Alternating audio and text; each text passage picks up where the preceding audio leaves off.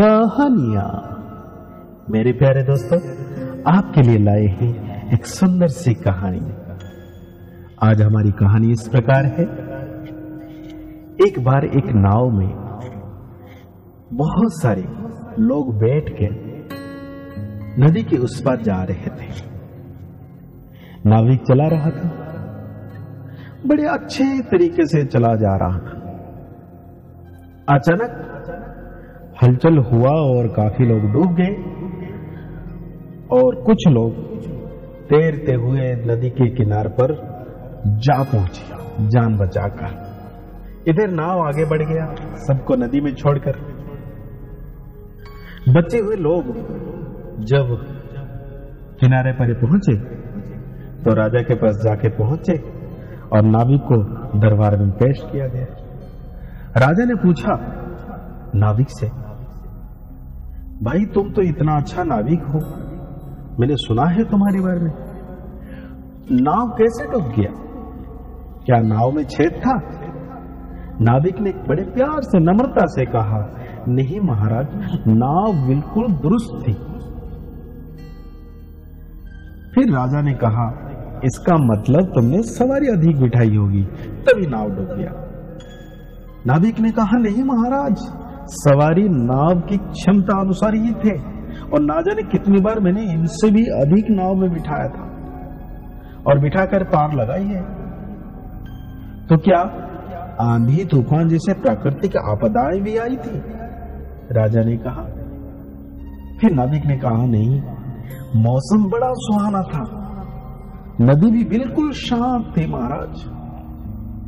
फिर राजा ने कहा तो क्या तुमने मदिरा पान तो नहीं किया था? नाविक ने कहा, नहीं महाराज, आप मेरे साथ के लोगों से पूछ सकते हो, जिन लोगों ने मुझे दरबार में लाए हैं।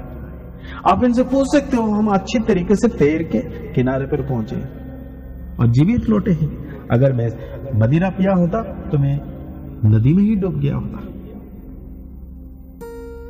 राजा ने फिर कहा, फिर क्या चूक हुई केस? इतनी बड़ी दुर्घटना कैसे हो गई? इतने लोग कैसे मर गए? नबी ने कहा, महाराज नाव बड़े धीरे धीरे, बिना हलचल से नदी पे चल रही थी। तभी नाव में बैठे एक आदमी ने नाव के भीतर ही थूक दिया। मैंने पतवार रोका और उसका विरोध किया और पूछा, तुमने नाव के भीतर क्यों थूका? उसने उपहास हँसते हुए, मज़ाक उड़ाते हुए कहा कि, क्या मेरे नाव थूकने से नाव डूब जाएगी? मैंने उसको बड़े प्यार से कहा राजा जी नाव तो नहीं डूबेगी, लेकिन तुम्हारे इस निकृष्ट कार्य से हम शर्म से डूब रहे हैं। बताओ, जो नाव अपने सीने पर बिठा कर तुम्हें नदी पार कर रहा है,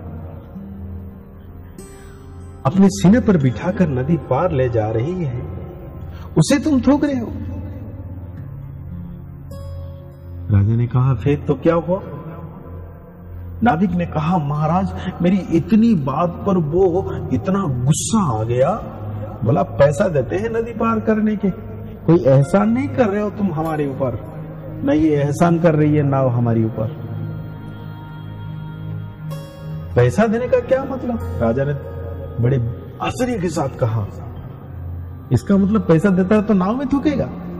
अच्छा फिर क्या हुआ? नाविक ने कहा, महाराज वो मुझसे बहस करने लगा, लड़ने लगा। राजा फिर बीच में कहे अच्छा ये बताओ, जो बीच में लोग बैठे थे, इतने सारे लोग, क्या उसकी बात सुन रहे थे? क्या उन लोगों ने विरोध नहीं किया? महाराज, ऐसा नहीं था। नाव के बहुत से लोग मेरे साथ विरोध करने लगे थे उसका। तब तो उसका मनोबल टूटा होगा। राजा ने कहा उसको अपनी गलती का एहसास भी हुआ होगा। ऐसा नहीं था महाराज नाभिक ने बड़ी नम्रता से कहा। नाव में कुछ लोग ऐसे भी थे जो उनके साथ खड़े हो गए थे। कि थूकने से क्या नुकसान हो गया? भीतरी हम दो भाग हो गए थे हम। बीच मझधार में ही यात्री आपस में उलझ पड़े। मेरे तरफ़ कुछ लोग कुछ लोग उनके तरफ़। चलती नाव में ही मारपीट मारपीट राजा ने फिर कहा, क्या तुमने समझाया नहीं? महाराज, मैंने बहुत समझाया था। लेकिन वो इतने लड़ पड़े इतने लड़ पड़े नाव हिला, डुला और इतने में ही पानी घुस गया। मैंने कहा उनको, अभी नाजुक स्थिति में है, आप लड़ाई मत करो, हलचल मत करो। लेकिन उन्होंने माना नहीं और अपनी जान गंवा बैठे। और हम अपनी जान को बचाते हुए, इनकी जान बचाते हुए किनारे पर पहुँचे। फिर राजा चुप हो गए। राजा कहने लगे, इसमें तो तुम्हारी कोई गलती नहीं है। मेरे प्यारे दोस्तों, ये कहानी का सार ये है, अभी का समय जो चल रहा है, इस नाजुक दौर में संतुलन बनाए रखना बहुत ज़रूरी है। विदेशों की परंपरा है कि कचरा नहीं फेंकना इधर उधर नहीं थूकना। हम भी अपने भारत देश को वो स्वर्ग जैसा सुनहरा बनाने के लिए, सुंदर स्वर्ग बनाने के लिए, अपनी कार्य व्यवहार को, अपनी आचरण को, अपनी आदतों को बदले। वैसे भी बीमारी से बचने के लिए इन सब की उपाय हमें करना होगा। समय की पुकार है। सुधरो, नहीं तो सुधरना पड़ेगा। तो ये कहानी हमें यही सिखाती है कि हम अपने संस्कार को बदलें, संसार बदल जाएगा। हम अपने विचार को बदलें, संसार बदल जाएगा। हम अपनी आदतों को बदलें, संसार बदल जाएगा। हम अपने आप को बदलें, पूरी कायनात बदल जाएगा। हम अगर अपने बुद्धि, विवेक आचरण को बदलते हैं, सभ्यता को बदलते हैं, पूरी सृष्टि ब्रह्मांड बदल जाएगा। यही है बदलने की प्रक्रिया और ये चलता रहेगा। इसलिए हमेशा याद रखें, मुझे बदलना है, मुझे बदलना है। ओम शांति ओम शांति ओम शांति।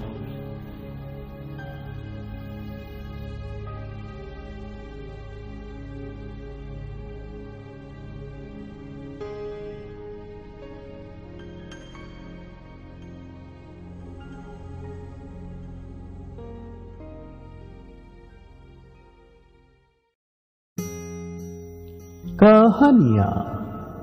मेरे प्यारे दोस्तों, आपके लिए लाए हैं एक सुंदर सी कहानी। आज हमारी कहानी इस प्रकार है। एक बार एक नाव में बहुत सारे लोग बैठ के नदी के उस पार जा रहे थे। नाविक चला रहा था। बड़े अच्छे तरीके से चला जा रहा था। अचानक हलचल हुआ और काफ़ी लोग डूब गए। और कुछ लोग तैरते हुए नदी के किनार पर जा पहुँचे, जान बचाकर। इधर नाव आगे बढ़ गया, सबको नदी में छोड़कर। बचे हुए लोग जब किनारे पर पहुँचे तो राजा के पास जाके पहुँचे और नाविक को दरबार में पेश किया गया। राजा ने पूछा, नाविक से भाई, तुम तो इतना अच्छा नाविक हो। मैंने सुना है तुम्हारे बारे में। नाव कैसे डूब गया? क्या नाव में छेद था? नाविक ने बड़े प्यार से, नम्रता से कहा, नहीं महाराज, नाव बिल्कुल दुरुस्त थी। फिर राजा ने कहा, इसका मतलब तुमने सवारी अधिक बिठाई होगी, तभी नाव डूब गया।